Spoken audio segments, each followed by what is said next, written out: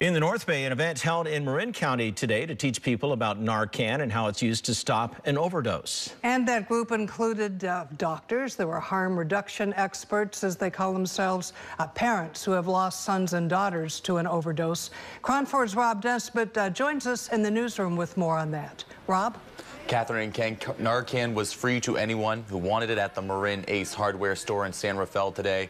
Experts explain how to use the spray to stop an overdose, and several parents shared their stories of how they wish someone would have used Narcan on their child.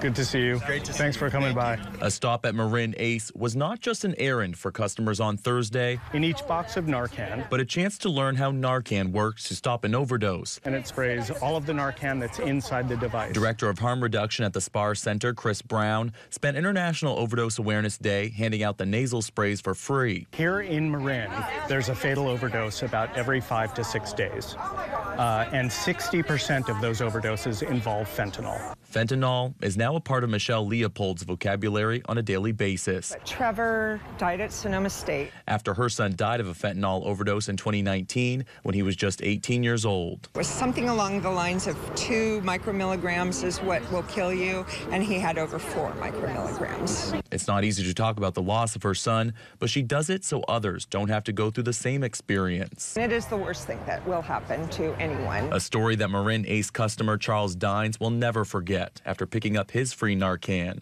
Always wanted to have something in the house that can be useful in case of, and this is a great opportunity to learn about the latest. Marin County Public Health Officer Dr. Matt Willis says Narcan is one of the key components of fighting the opioid crisis. Drug overdoses are now the number one cause of death in Marin County among those 55 and younger. Eclipsed cancer as that leading cause, um, more than double between 2018 to 2021.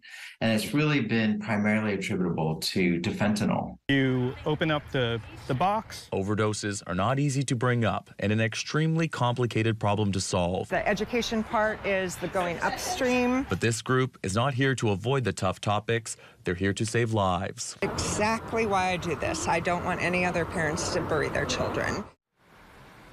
According to Dr. Willis, there's no downside to the use of Narcan. The public health officer says if somebody is having an overdose, Narcan can save their life. If it's not an overdose, the use of Narcan will not hurt them. Reporting live in the newsroom, I'm Rob Nesbitt, KRON 4 News. Thank you, Rob. We do continue to track the Bay Area's fentanyl crisis. You can scan that QR code to go to a special section of our website with all the latest stories.